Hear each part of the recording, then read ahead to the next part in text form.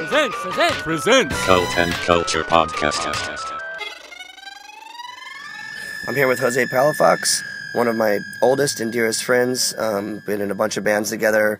Um, someone who I admire um, beyond uh, anything. Yeah. Anyhow, he's he's my brother. So I'm here to talk about a film that he's taking part in, and so uh, take it away. Thanks, JP. Uh, the film is called Clean Sober Punks, and it's a good friend of mine, Al Lujan, who's been working on this project for a few years now. And um, it's basically a project that looks at people in recovery who happen to be part of the punk rock scene, hardcore scene. Uh, it's sort of a coming out kind of film that addresses the whole issue of what does it mean to be a punk in recovery, in sobriety. Um, I myself have been in recovery for many years now. Um, I'm part of a 12 step group. Um, a lot of those 12 step groups, the way that they work is they work as as a group in secrecy almost and, and anonymity, and there's a lot of important reasons why that's for, that's about. But this film and this project that Al and a few other people have been involved in is trying to sort of flip the script of the way in which media films public discourse around punks and people in punk rock have been portrayed as people who are just fucking drunks, fuck up junkies who don't give a shit. And I feel like that's something that we really have to address. Like, what does it mean to be a punk who's always drunk or who's always on drugs? That's how it's being portrayed. Is there other ways that we can intervene, still being punk, still being hardcore, and yet being sober? So that's sort of the question that's being posed by everyone who's being interviewed. I hope the film still comes out. There's some funding issues right now, but we're sort of addressing a lot of these issues around representations of punk, punk rock, the music, the artists. Um, there's some pretty big names of people who are in recovery who are being interviewed for that film.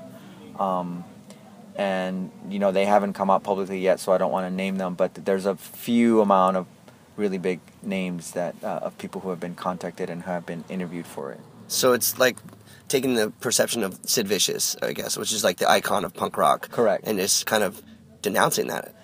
Um, not so much denouncing that, but maybe resignifying it to mean something different. Like, yeah, we can be fucking punk. We can cut our fucking chest up. We can do crazy visceral things that might scare society or old ladies who are fucking walking down the street. And especially when we walk down the street and scream that God is dead because he's fucking dead. Um, that might be something that's shocking, but I just feel like there's so much there's so much other ways that one can be punk i feel and men- make interventions to the same things that i feel like we've been trying to do even in the bands that we were about and and challenging you know uh, states and challenging organized religion and, and challenging you know corporate capitalism all those things without having to endanger our bodies because you know part of the other work that I do too is I also work as a drug prevention specialist.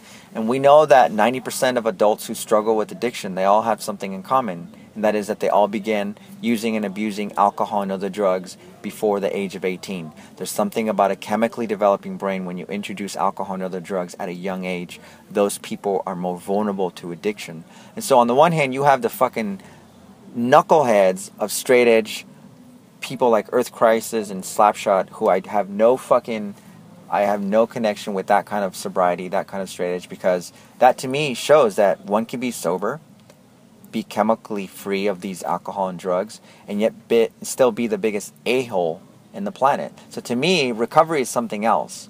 So it is, I'm not not to cut you off, but like I mean, I was gonna say like, what about Ian MacKaye or something like that kind of concept of straight edge, which is definitely more progressive and not as elitist as something like the bands or the artists that you've uh, suggested. Correct. Yeah, I mean, I, I have a lot of respect for the work that he's done. He's he's an inspirational person. I don't agree with everything that he says, but um, you know, I, I I think the film when it comes out, and I'd love to do a, a second interview with you when it comes out because you'll get more of an idea. There's a trailer if you go to YouTube and just uh, you know look for "Clean Sober Punk." You'll be able to check out the the two minute trailer about what the project is about. But you know, it's I'm going to be 42 later this year, you know, and I'm sort of reflecting back at at at, at my life and what I want to do for the rest of my life.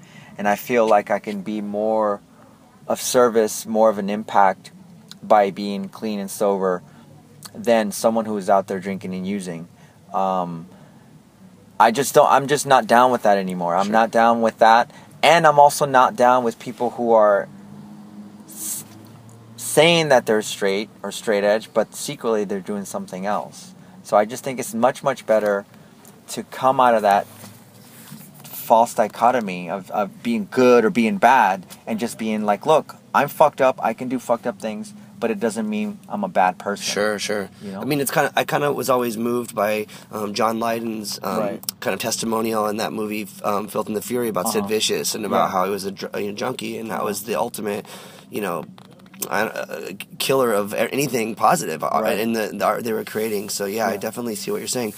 So maybe again, can you say the um, thing about the um, trailer is on YouTube as clean and sober punks? Yeah, C L N C B R P N X. And it just so happens that we're doing this interview and, and the event that is being sponsoring the band that you know, Retox and all the other it's a it's against tobacco, you know, and so it's you know, it's it's a fucking killer, man. These electronic cigarettes and, and, and I, I just think we need to be more aware of uh, how these um, chemicals impact us. Sure, and it comes down to the corporations and It comes down to the corporations who want to make a profit, Yeah. and that's really what it comes down to. And so it's really important for us to be aware of that, and to not fall into these boxes that corporations or media representations want to put us in. We're not just Sid Vicious. We're not just that. You know, we could be that maybe, but also we can do other things that I think are punk Sure. you know like Sure. caring about other people and being part of a mutual aid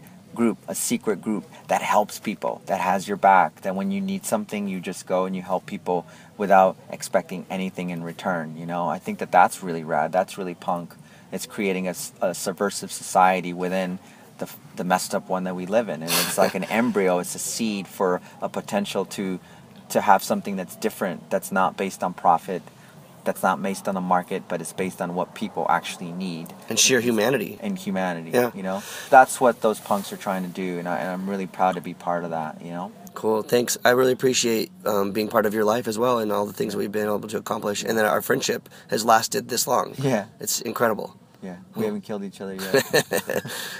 we have other things to kill. exactly. Thank you. Planet B.